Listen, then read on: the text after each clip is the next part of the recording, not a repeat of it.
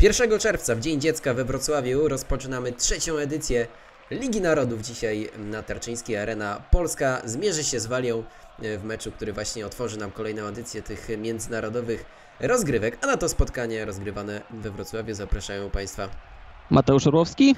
i Jan Micygiewicz. No i znowu przy futbolówce Matondo. Uwaga, Jonathan Williams, strzał! Jest gol! 1 do 0 prowadzi Walia w 52 minucie. Świetne uderzenie gracza z numerem 18 i trochę niespodziewanie gości obejmują w tym meczu prowadzenie.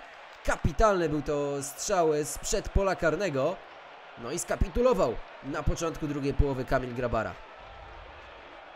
1 do 0 dla reprezentacji Wali. Wielka radość w szeregach Smoków i ich kibiców z uwagi na to, co przed momentem się stało. Tutaj jeszcze rykoszet był po tym zagraniu Williamsa. Nie wiem, czy nie od Jacka Góralskiego ta piłka się odbiła, czy jednak nie, jednak nie było rykoszetu. Wydawało mi się tylko, że piłka zmieniła tor lotu, to Williams świetnie jednak ją podkręcił, nadał na tyle odpowiednią rotację, że pokonał Kamila Grabarę.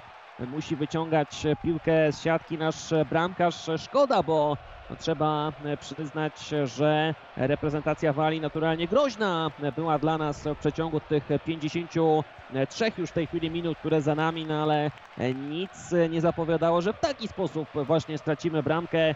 Brak doskoku do Williamsa, pozostawiony samopas ten gracz i przez to też miał on oczywiście mnóstwo miejsca dla siebie, żeby uderzyć i to uderzyć w sposób znakomity.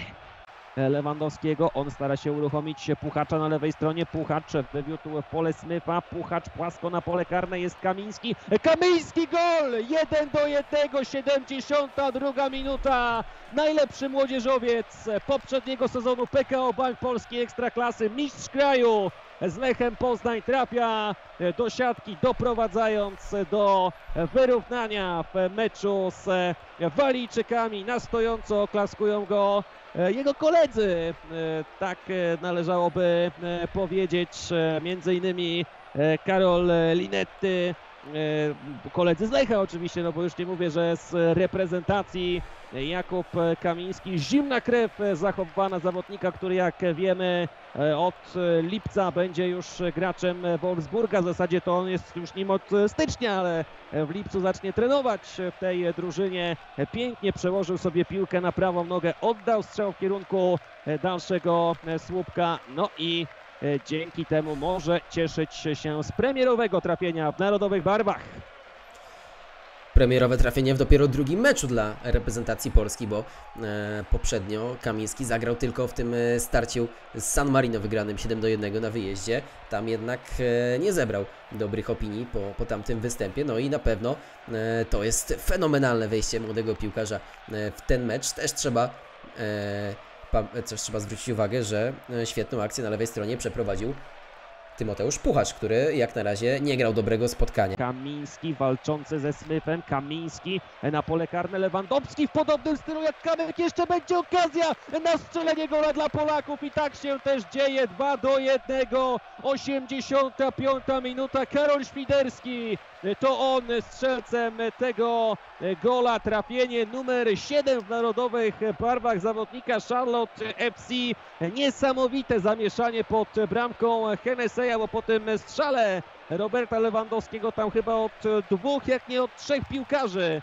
Piłka się odbiła i dopiero trafiła pod stopy Świderskiego, który z metra trafił do walijskiej bramki. Ta akcja w ogóle rozpoczęła się z przypadku, bo ta wymiana podań między Kamińskim a Zalewskim była po błędzie zawodnika z numerem 11, czyli Matondo, potem Lewandowski oddał strzał, piłka odbiła się rzeczywiście od Norringtona Davisa, też chyba od Mefama, Hennessy zmylony już wykonał paradę, leżał na boisku w momencie, kiedy Świderski piłkę nad nim dziupnął, jeszcze tam próbował razem z Chrisem Mefamem Hennessy coś zrobić, ale nie był w stanie, bo piłka już minęła całym obwodem linię bramkową, a nawet jeśli nie, to potem jeszcze Mefam nabił poprzeczkę i potem znowu piłka do siatki trafiła.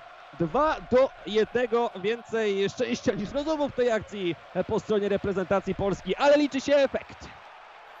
Dokładnie, dużo tutaj szczęścia nasza kadra potrzebowała, e, aby osiągnąć ten końcowy efekt, ale on jest najważniejszy. Myślę, że tutaj po stronie walijskiej najbardziej chyba zawinił Norrington Davis, który e, no, dostał piłkę, e, zagrał co prawda dość mocno, bo to po strzale Lewandowskiego był rykoszet, e, wpadła piłka pod nogi Norringtona Davisa i on chciał sobie ją przyjąć, a, e, a skierował ją e, wprost pod nogi Karola Świderskiego.